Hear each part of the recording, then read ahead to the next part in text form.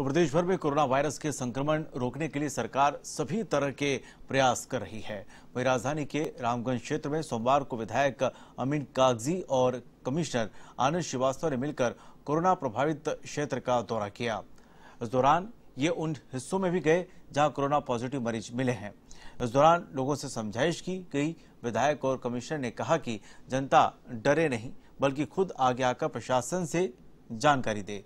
इससे सही समय पर पूरा इलाज मिले, साथ ही ऐसा होने पर बीमारी का खतरा नहीं होगा। वहीं जो लोग कोरोना वायरस के संक्रमित लोगों के संपर्क में आए हैं, उनसे अपील है कि वो अपने घरों में रहकर सरकार की गाइडलाइन की पालना करें।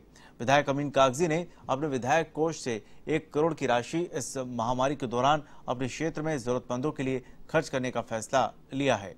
इसमें जरूरतमंदों को मास्क, सैनिटाइजर वितरित किए जा रहे हैं। वहीं गरीब, असहाय लोगों के लिए अलग से खाने की व्यवस्था विधायक कागज़ी की ओर से की गई है। कागज़ी क्षेत्र में सक्रिय हैं और पुलिस और जनता के बीच एक सेतु का काम कर रहे हैं। इनकी तारीफ़ प्रदेश के मुखिया अशोक गहलोत भी कर चुके हैं।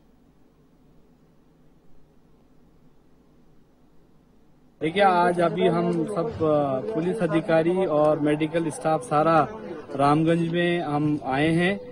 और मैं यहाँ ये अपील करने आया हूँ कि जिन लोगों के आज पॉजिटिव मिले उनके रिश्तेदार जो घरों में हैं, उनसे मैं अपील करना चाहता हूँ कि जो लोग पुलिस का सहयोग नहीं कर रहे हैं, हालाँकि पिछले तीन चार दिनों में आप लोगों का बहुत सहयोग रहा, लेकिन आज जो लोग पॉजिटिव आए उनके रिश्तेदारों का क्वारंटीन करना बहुत ज़रूरी है।